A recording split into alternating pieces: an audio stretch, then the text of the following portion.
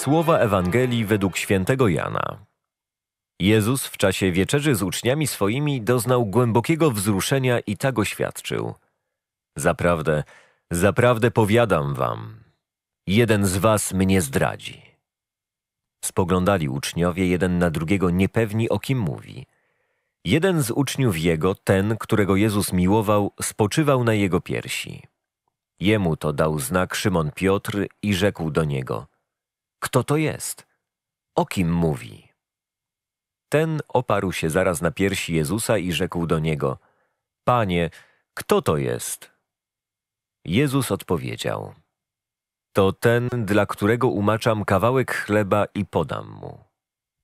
Umoczywszy więc kawałek chleba, wziął i podał Judaszowi, synowi Szymona Iskarioty. A po spożyciu kawałka chleba wszedł w niego szatan. Jezus zaś rzekł do niego: Co chcesz czynić, czyń prędzej.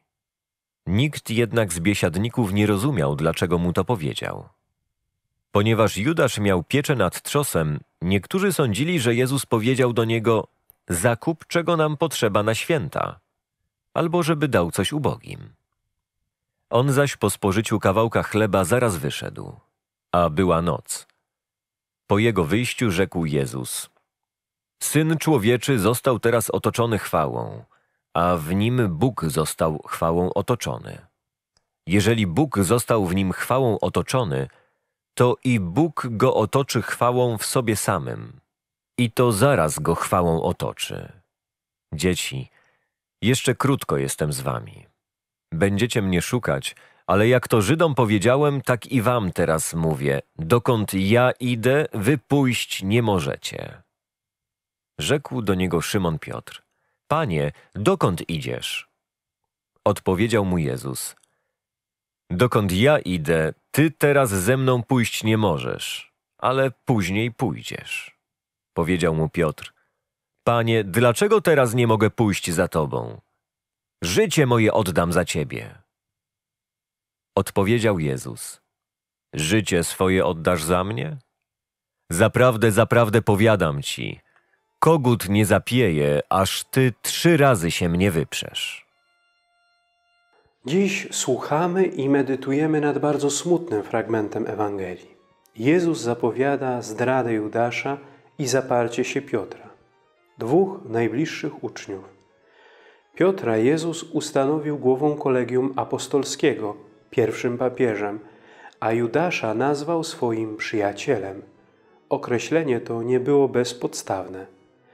Żeby zrozumieć wyjątkową relację Jezusa z Judaszem, należy wpierw przywołać kilka faktów z ostatniej wieczerzy. Podczas uczty paskalnej wszyscy biesiadnicy siedzą przy stole w pozycji półleżącej, wspierając się na lewym łokciu, a prawą ręką sięgając do stołu. Pozycja ta utrudniała nieco rozmowę.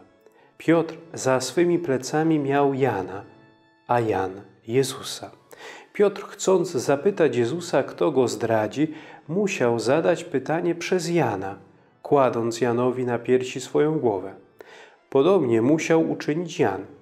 Najpierw kładzie swoją głowę na piersi Jezusa, który znajduje się za jego plecami, a następnie zadaje pytanie.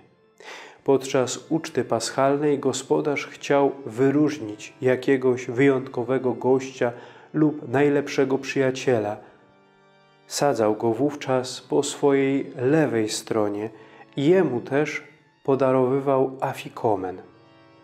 Jest to mały kawałek chleba odłamywany na początku uczty i ukrywany przez ojca rodziny, aby na jej końcu wręczyć ją serdecznemu przyjacielowi. To właśnie Judasz otrzymuje afikomen jako wyraz szczerej miłości Jezusa do niego. Żeby go podać, Jezus musiał położyć swoją głowę na piersi Judasza. Jak niezwykłe musiało to być doświadczenie dla Judasza.